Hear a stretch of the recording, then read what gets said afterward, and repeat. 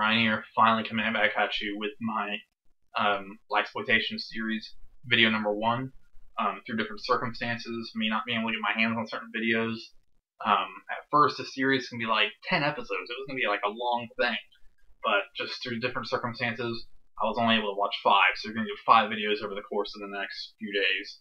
Um, probably not every single day, but maybe over the course of the next week or two. Um, because I got a lot of other content um, that I need to put out there as well, um, video wise. And I figured I could do that, you know, over the course of two weeks instead of every single day, because even though I was really excited and really pumping the Blaxploitation um, thing, I think that having a complete takeover of my channel will kind of hinder me from doing other things. And I don't want to bore you guys for a week or two, or a week if you guys are really are not into the films. So, but anyways, guys, number one, the first film I watched was actually my favorite out of all the exploitation films that I've seen from the 70s, and it's 1973's Hell Up in Harlem, starring Fred Williamson, who I actually had a chance to meet at a film convention about two and a half years ago.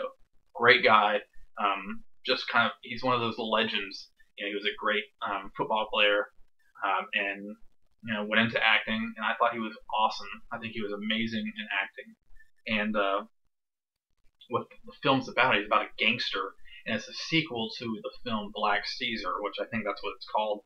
And I actually have not seen that. That was one of the ones I could not get my hands on. So going into this movie, I had to have in my head that maybe I'm not going to get certain things because I didn't see the one that came before it. That wasn't the case. I understood everything, and I loved every single second of the movie.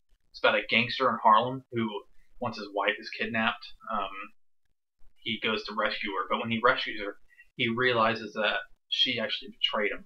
And so what happens is, through that situation, he goes into a, um, he teams up with, I think it was with his dad and different mafia members to go, um, go crazy on all the other crime syndicates in the city. Um, of course, it takes place in Harlem and in like the New York City area. So he goes on this warpath against all these mobsters and stuff, and it is a great film.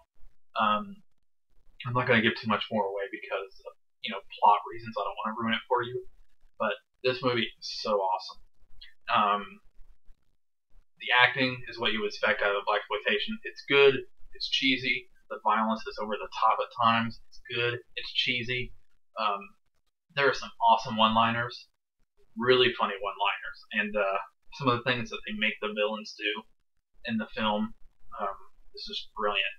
I was really disappointed because I was reading reviews on this film. People hated it. Like they said, like people consider this one of the worst black exploitation movies, like out of the bunch that came out around this time period. And even like a lot of people in IMDb, like I'm, I have IMDb right here on my phone. Like you might see the reflection on my hand, but I have my phone right here facing me. It has a 5.7. Most black exploitation movies have either between 6.5 or up. This one has 5.7 there's a lot of people that hate it. People that say, "Well, I love exploitation movies, but you know, this movie or this movie, this movie is better." And you know, there they'll be like Shaft, blah blah blah, you know, Fo- or Foxy Brown, so on and so forth. And to be honest with you, out of all the black exploitation movies I've seen, plus the ones I just mentioned, this one's my favorite because it is just a fun, all-around great movie. And I don't own it yet, but I'm gonna own it. I'm gonna enjoy the heck out of it. So um, anyways, guys, I'm going to try to make this video quick and easy so you can get back to viewing your other videos. I hope you put this in your wish list, try to check it out. Please give it a chance. Um, I know that there's a lot of people that maybe get turned off by any kind of exploitation film in general, exploitation, the violent exploitation pictures of the 70s, exploitation horror films, but um, I think black exploitation is so much better in so many different ways than some of the other kind of exploitation films because it really shows the way um, the gritty it gets that same grittiness that filmmakers were doing in the 70s. You know, uh, it does not make the city look grand how you know movies maybe in like the 50s or even the 60s made the city look. Um, so I want you guys to go ahead and check it out. So, anyways, guys, I will see you in the next video, and don't forget, I'm still having a contest until the end of the month. So I will see you guys in the next video. Um, I'm not going to give too much more away because of, you know, plot reasons. I don't want to ruin it for you. But This movie is so awesome. Um, the acting is what you would expect out of black exploitation. It's good. It's cheesy. The violence is over the top at times. It's good. It's cheesy. Um, there are some awesome one-liners, really funny one-liners, and uh, some of the things that they make the villains do in the film um, is brilliant. I was really disappointed because I was reading reviews on this film. People hated it. Like they said, like people consider this one of the worst black exploitation movies, like out of the bunch that came out around this time period. And even like a lot of people in IMDb, like I'm, I have IMDb right here on my phone. Like you might see the reflection on my hand, but I have my phone right here facing me. It has a 5.0, which I think that's what it's called, and I actually have not seen that. That was one of the ones I could not get my hands on. So going into this movie, I had to have in my head that maybe I'm not going to get certain things because I didn't see the one that came before it. That wasn't the case. I understood everything, and I loved every single second of the movie. It's about a gangster in Harlem who, once his wife is kidnapped, um, he goes to rescue her. But when he rescues her, he realizes that she actually betrayed him. And so what happens is, through that situation, he goes into a, um, he teams up with, his, I think it was with his dad and different mafia members to go, um, go crazy on all the other crime syndicates in the city. Um, of course, it takes place in Harlem and in like the New York City area. So he goes on this warpath against all these mobsters and stuff, and it is a great seven most exploitation movies have either between 6.5 or up. This one has 5.7. There's a lot of people that hate it. People that say, "Well, I love exploitation movies, but you know, this movie or this movie, this movie is better." And you know, they'll be like Shaft, blah blah blah, you know, Fo- or Foxy Brown, so on and so forth. And to be honest with you, out of all the black exploitation movies I've seen, plus the ones I just mentioned, this one's my favorite because it is just a fun, all around great movie.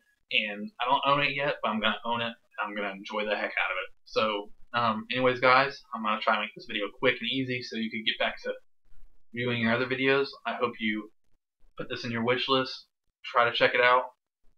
Please give it a chance.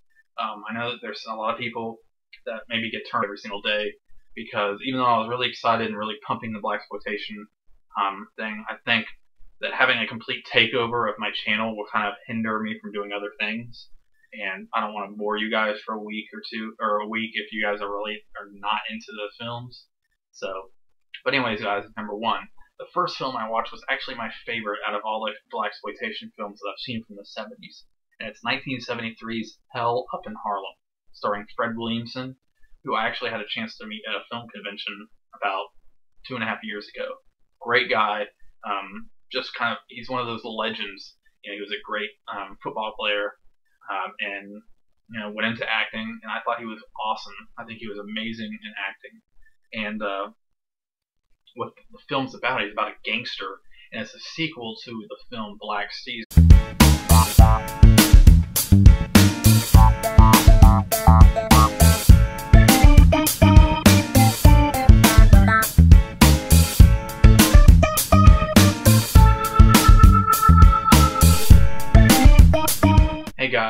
Here, finally coming back at you with my um, Exploitation series, video number one. Um, through different circumstances, me not being able to get my hands on certain videos. Um, at first, the series can be like 10 episodes. It was going to be like a long thing. But just through different circumstances, I was only able to watch five. So we're going to do five videos over the course of the next few days. Um, probably not every single day, but maybe over the course of the next week or two. Um, because I got a lot of other content um, that I need to put out there as well, um, video wise. And I figured I could do that, you know, over the course of two weeks instead of